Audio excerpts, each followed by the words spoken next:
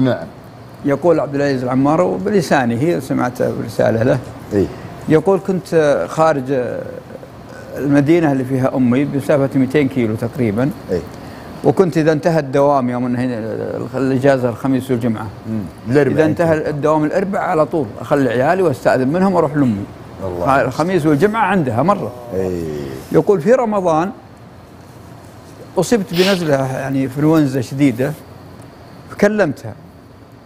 قلت يا أمي ترى الأسبوع ذا ما أقدر. يوم شهقت بغت تموت. قالت بقعد أسبوع ثاني ما شفتك؟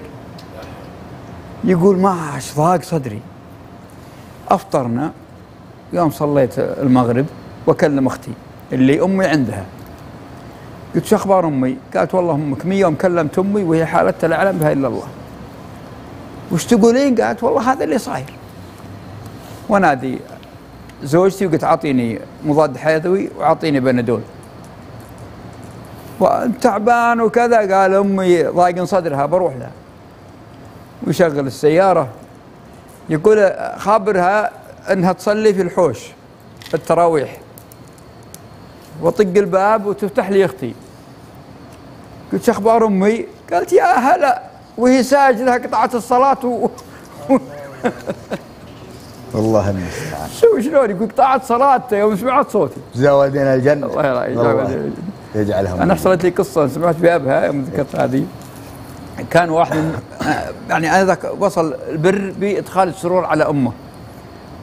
كنا عند محل طاحون اللي يبيعون قهوة وبر وما بر وكذا. يوم عقب العصر والجو زين. يوم حول هذيك السيارة ويفتح الباب وتحول ذيك بعصيته ويوم يا الله يسنده على ذا ويا الله دخل هالمحل وأنا أشوف.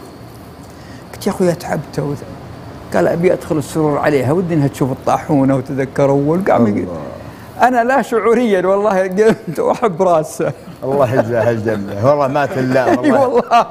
قال يا أخوي قال هذه ام قلت هذه أمك أمي. عوضني الله. أنا أمي فاقدها وأنا عمري عشر سنين. أي والله. ويوم شفتها كبرت هسه تخيل تخيلت إنها أمي وحبيت راسها. الله تبي تطقني تبي تسوي لي سوى لا والله من طيب نية. الله يطول بعمرك. قال لا والله لا والله فلذلك أقول حقيقة البر البر يا أخوان. الله البر من أراد أن. يبسط له برزقه وينسأ له في اثره فليصل رحمه. الله يجزاك خير أبو نايف ويطول بعمرك سم أبو عمر وجه دعوة ل- لابو عبد الرحمن مروان. يرفع السؤال هذا إلى إلى جواب الكافي قضية التقبيل. أيوه. واننا نقول له منايف انتبه ترى الرجال